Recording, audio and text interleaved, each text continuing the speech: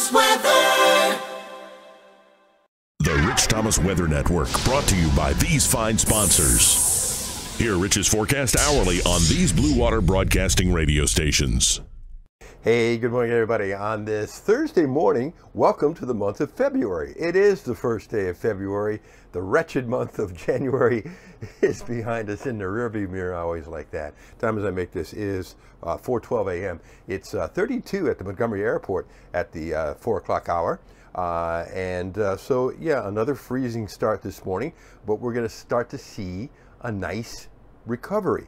I really like the weather. Uh, now, we could have a wild month of February, and we probably will, but the first few days, today, tomorrow, and Saturday, look pretty good. Uh, you know, I, I, mentioned we're at 32 now. I think we'll be at least 62 this afternoon, a nice 30 degree warm up. That's what happens when you have dry air and plenty of sunshine. And I've got us uh, around 67 Friday, 69 Saturday. How about that? That's a great start to the month attention to all groundhogs who have to work tomorrow. Um, it looks like it's going to be a pretty nice groundhog day. All right, so that's the deal. Now, all bets are off on Sunday. Sunday's an awful day. Uh, looks like a cold rain. There could be some thunder and lightning, but mainly just rain. And uh, I've really taken the temperatures down.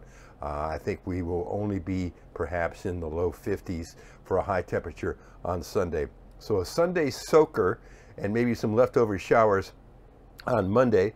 Um, but otherwise, uh, looking into next week, I don't see anything that uh, looks pretty bad at all. As a matter of fact, next week looks like a pretty good week. And still, the models out through day 16 don't see any Arctic air.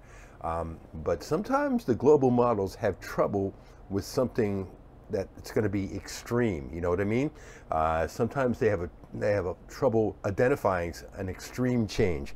So we'll continue to watch because we're going to be focusing on that uh, period that just passed the middle of February into the early part of March. In the meantime, everything is normal today, live on the radio, 6 to 9 on News Talk 93.1 WACV. And there'll be another um, forecast update for you. What is today? Thursday? Yeah, a forecast update and video tomorrow morning on Friday, and that is published in the 4 o'clock hour. If you're watching on YouTube, there's instructions on how to see our blog update with all the beautiful graphics. Boy, wait till you see the wild jet stream and set up on the storm system on Sunday on the blog. You can see that on our website, RichThomasWeatherNetwork.com, on Facebook, Rich Thomas Weather. You can see it on Twitter. Yeah, it's Twitter. And also uh, on our weather app, which is free in the App Store. Just search Rich Thomas Weather. And also your forecast whenever you want it across the dial on eight radio stations. Every day of the year, you'll hear my voice on the Blue Water family of stations.